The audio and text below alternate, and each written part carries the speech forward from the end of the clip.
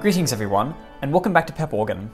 Today I'm going to be discussing what kind of music we should be playing in the church. This video is partly drawn on my own personal experiences, and also on what I've seen and perceived from other churches that I've been to. This video should be relevant mostly to church organists, but it should also be helpful if you just want to understand my idea of music philosophy. First off, let's just talk about the purpose of organ music at the church. It's important to note that playing at a church is not the same as playing for an organ recital. As an organist working at a church, you must be willing to accept the fact that without that church, you would not have the chance to play at all. Therefore, just like an employer, you need to try and understand the church and fulfill its needs as best as you can. Now, I want to stress this very firmly. Also, being a church organist is not about showing off how well you can play. It's not about creating the loudest noise possible at the end of the service and drawing attention to yourself. The main reason people attend church is to worship. We have to remember this. It's not to listen to the organ voluntary. So your music should always assist with prayer. Organ is a means, not an end.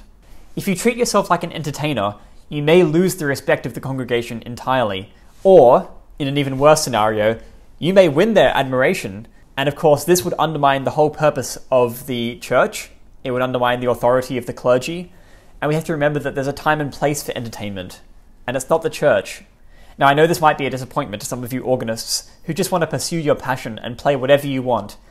But I think that this mindset is frankly selfish and it's not productive to anyone. Our goal should be to enhance the service that we're in. That's why it's called a service, because we are serving.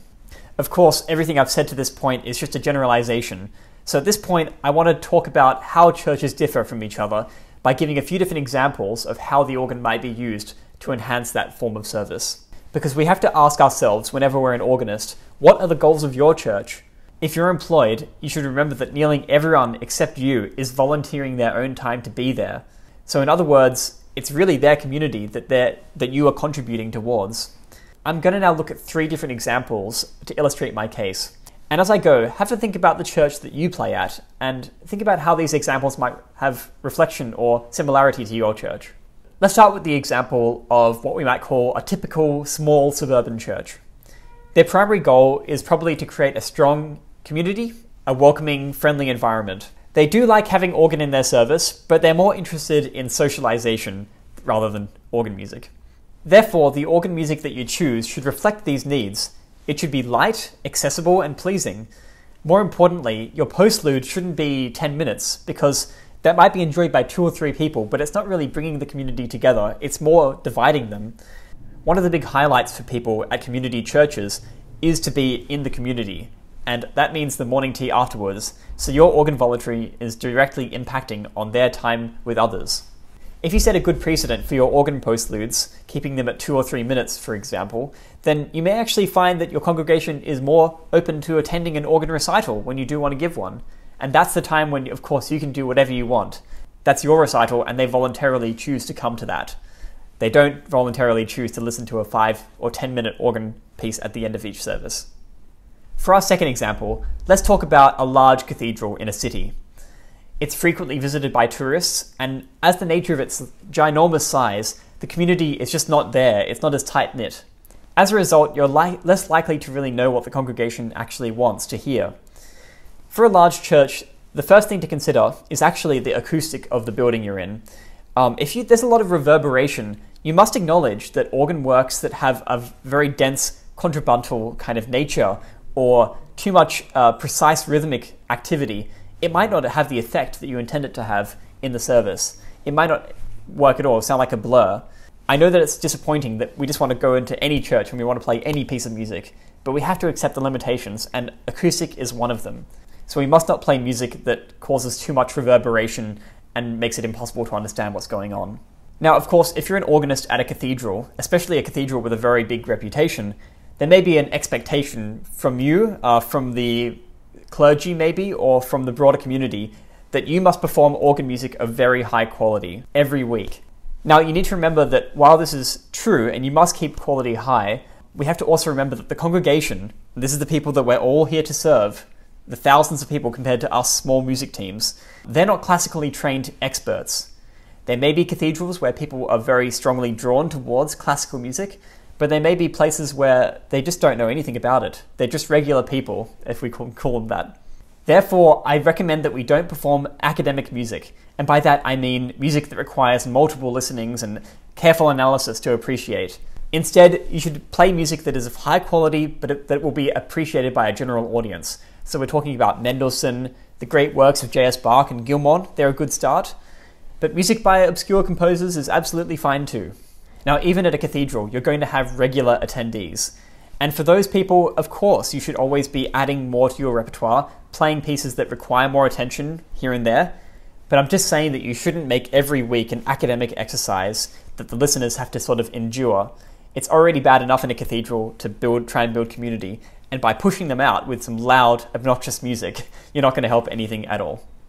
One final thing to remember about cathedrals is that they also serve as a role model for the diocese. So your music should really communicate the goals and the larger goals of your city and your city community. If in doubt, playing music that's prayerful and meditative, I find, is always a good option. We always need more calm, relaxing music at church, not big bombastic. Now, the third example I'm going to give is a church that really does appreciate the importance of liturgy and always getting things absolutely right. This is the kind of church where the congregation may have a really strong preference for traditional music and historical music, of course. In this instance, you should pay very close attention to the other music that's taking place in the service. We're talking about the hymns, the psalms, and of course, if there's a choir, then the choral music as well, and the communion setting. You should take cues from what kind of music they choose and then shape your music program, your organ music, to that. That creates a really cohesive, satisfying experience for the congregation. You should also try and gauge the situation in the building at the time. During communion, for instance, if you don't have something uh, prescribed, you may want to consider playing a very soft improvisation on a certain day, maybe something a bit bigger on another day, and maybe uh, it might be just worth not having any music at all. We have to exercise restraint as organists. We can't just keep feeding people music all the time. Some of the most beautiful services I've played for have had almost no organ music at all. So it's really special when used right. Now, in one of these churches I'm describing, kind of high church style, you must not try and draw attention to yourself. You'll notice that everyone never draws attention to themselves, whether it's the thurifers or the choir or the clergy, um, and that should be the same for you. You should play your organ voluntaries and your preludes in a way that's respectable and refined. Don't crash around the keys or make atonal music or anything that might upset that really precious reverent atmosphere that's why people are coming. It's also possible that people may want to pray after the service in the church, so your organ voluntary may be disrupting that and making it harder for them. So don't play anything too loud.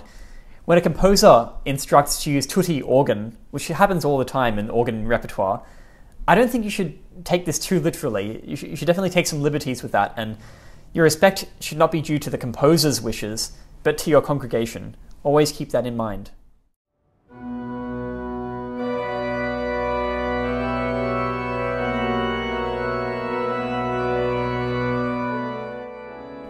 Now, I hope that you find this kind of advice helpful, and maybe you have your own perspective, which I'd love to see in the comments down below. But if you do follow some of the advice that I gave, I think that the congregation will gain more respect for you, and that's what we want.